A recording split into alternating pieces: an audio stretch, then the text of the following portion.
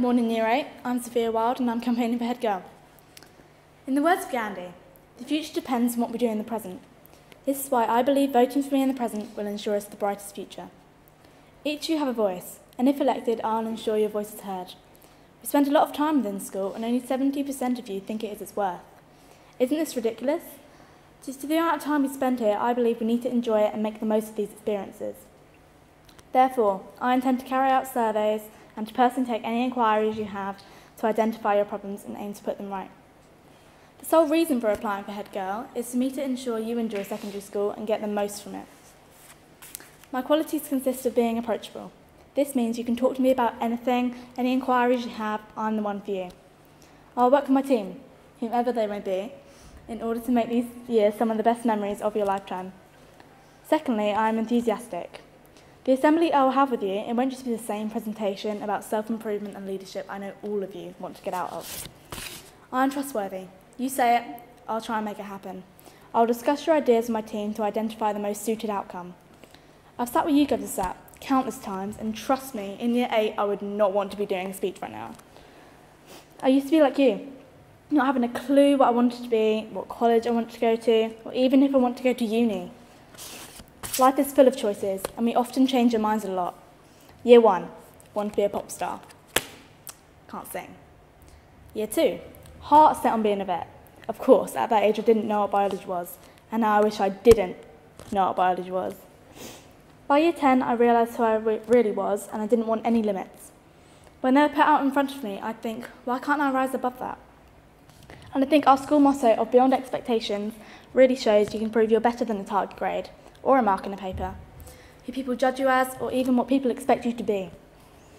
I think at this age you will come across hard times and you will be judged and misunderstood. You will have to make choices you don't want to make and you, there will be great opportunities for you. You can do anything once you put your mind to it. This year I've really pushed myself academically. Who knows, you could become an astronaut or the next Beyonce. And by being head girl and hopefully your role model, I want to guide you through this journey. Thank you and vote for me.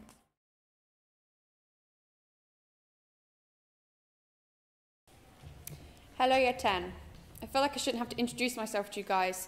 The majority of you have known me for years. But seeing as somebody in the CU group asked me what my name was the other day, my name is Lizzie Howell and I've been here since year 7. Meeting me four years ago, or longer, means that most of you have already made your judgments as to whether you like me or not, which is cool, I'm not everyone's cup of tea. However, this does mean it is incredibly difficult for me to persuade you that you should vote for me. So I guess I'm just going to ask you nicely. When I was first offered the opportunity to apply for head girl, I felt conflicted as to whether I should. Part of me immediately wanted to try, but I somehow managed to talk myself out of it. To be honest, I was scared. But when I got closer to the deadline, I found myself filling out the application and handing it in. I had to at least give it a go. If I didn't succeed, then nothing would have been lost and I would have done all I could. Somehow, with a lot of support from two other amazing candidates, I got this far, and I want to be your head girl more than ever. Sometimes the fear of doing something is exactly why you should put in the effort. You just have to do your best until the ball is out of your hands. And to those of you who have ever seen me play any sport involving any coordination, you'll know the ball is always out of my hands. I've done all I can, and now it's up to you. I've been asked to tell you of my aims and what I'd like to achieve if I were to be head girl of Fareham Academy. I should also be telling you it makes me a good leader. Unfortunately, I don't exactly have a long list of things I think I'm good at. I could ramble about what you have said, that I'm a good listener, reliable, hardworking, and easy to talk to, but what's the point in that if you don't already agree? I can, however, tell you things I know are true. I'm here because I want to change people's opinions of us as a school. People hear Fareham Academy or see our uniforms and instantly feel we are less than what we seem. What's up with that? Looking around the room, I can see so many people I know will go beyond those expectations and succeed in whatever they wish to do. I want other people to be able to see that too, be it prospective parents or future year sevens, my biggest wish is for people to be continually impressed with what we achieve. Maybe when other people are impressed with what we achieve, we'll start acknowledging it ourselves. But that's only going to happen if we show them. So that's why I'm here. I want to show them on behalf of you, my friends, classmates, and even those of you who didn't know my name. I'm not immensely popular or sporty. I'm not a genius, and my jokes are permanently terrible. Basically, I'm just a normal girl in year 10 who really wants to be your head girl. So this is me asking you nicely. Thank you.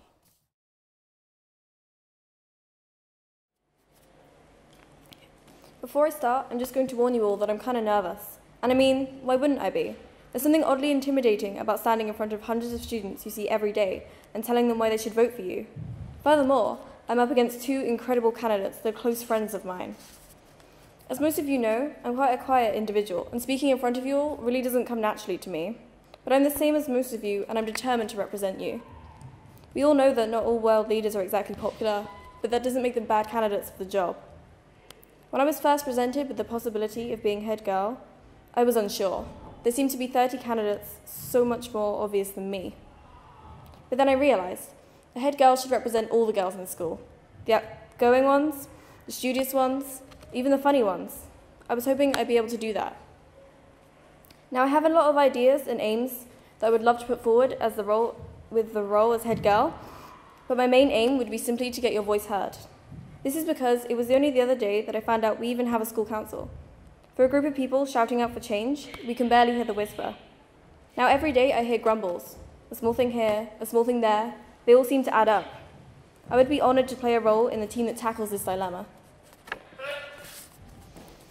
I guess now I should say what you should vote for me. And wow, isn't it really awkward listing all the things that you're good at?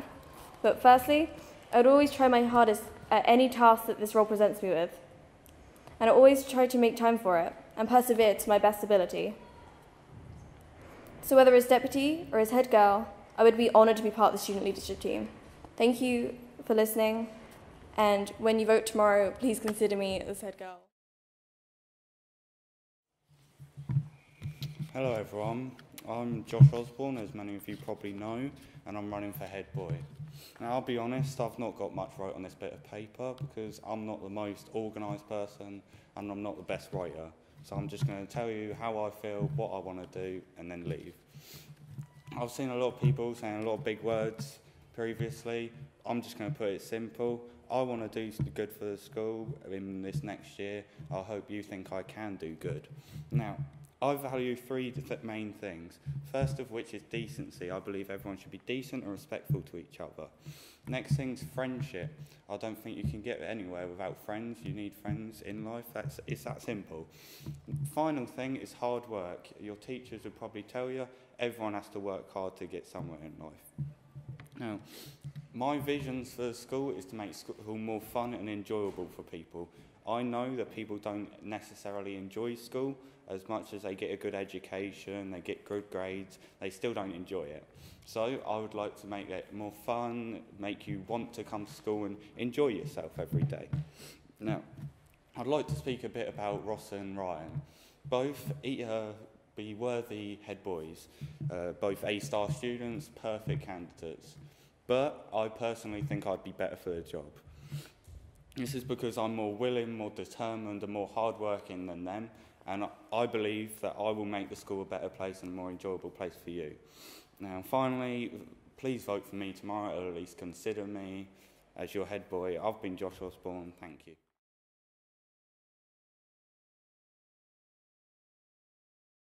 Hello, everyone. I see some familiar faces in here, but for those of you who don't know me, I'm Ross Tinney. Let me start off by telling you why I think I would be right for this role. I'm a team player, which is key in working with the student leadership team. However, I also know what it takes to lead. I'm confident in my abilities, and I will fulfill this role as best I can if given the chance by you. You can approach me, you can trust me, and you can tell me if you have an issue with the school, and I'll try to improve it. Currently, I don't want to stand here and promise you things concrete because I can't promise, I can't promise that. But I can promise that I will listen to all of your opinions, help voice them, and fight for the changes that you would like to see made in this school. I would like to look into raising the awareness of extracurricular activities, as it would be great to get more of you guys involved. I believe that this is something we can work on. Also, I think that parents should be made more aware of what we do at Fareham Academy. We are an outstanding school and we need to let that show. Many students and people don't realise that we're a great school and we need to do something to change that. As well as this, I want to make the student leadership position seem more desirable to you guys, so that when it comes to your turn, all of you will want to apply. This year, there was not that many applications for head boy and girl. I myself had doubts about going for head boy, but here I am in front of you guys because I've realised that opportunities don't come often and you've got to take them whilst you can. These are just a few aspects of the school I've thought of that could be improved. You might have other ideas, and I think I'd be the perfect person to take these ideas and turn them into a reality. I believe that I'm very well suited to this role and the best choice. I hope that you can help me show it. So vote for me tomorrow. I'm Ross Tinney. Thanks for your time. Good morning, Year 7. For those of you that do not know me, my name is Ryan Crooks, and I've been privileged with, privileged with the opportunity to run for head boy this year. Now, from a student's perspective, I believe, and so do many others, that we are a great school. We are well supported in our lessons. For the past few years, our results have been improving dramatically, and we have a rating of good from Ofsted. Generally, I feel uh, happy to be a member of this school community. But could it be made even better? Now, I do sometimes feel that we are seen but not heard. Do you feel that you have much of a voice in the school? And do you wish that you'd be given the opportunity to have more of an influence on what goes on? If elected head boy, it would be my duty to increase the influence of students upon school matters. One idea is to utilise the extended tutor period, which will be returning next year, to assign a student leadership team member to each year 7 tutor group. That would be a prefect. Um, every fortnight, the prefect would gather your opinions, your suggestions, and your views on new school policies and take them directly to the head teacher. This would provide an opportunity for everyone to have a positive input towards the school, whether that be you would like to set up a new extracurricular activity you and your friends would really like to run, if you're having a personal issue with someone and you'd like some action on that, or if there is a general serious problem affecting all of us that needs to be addressed. But am I the sort of person that could make this idea happen? Well, I know I have the right combination of determination, organisational ability, and drive to make something like this work. And if I really believe in something, I will see it through to a conclusion. You wouldn't need to think twice about coming to me personally with an idea or an issue, because I am an approachable character who will listen to you and respect your thoughts. I also understand that some of you have recently been to a trip to Fairthorne Manor, and from the uh, perspective of an aspiring head boy, I see these opportunities as a great chance to expand the student leadership team's abilities to outside of school itself. This would allow us personally to gain further leadership traits by helping out, but also help to represent the school as a whole. And I know coming to secondary school may have been a challenge for some of you, especially those like me who came here with very few friends from my primary school. To help with these sorts of situations, I would like to support the new Year 7s upon their arrival to Fareham Academy with the prefect team to help make their transition from primary school to secondary school easier. Thank you for listening to my thoughts and aims, and please consider me as your head boy when you're voting tomorrow. Thank you.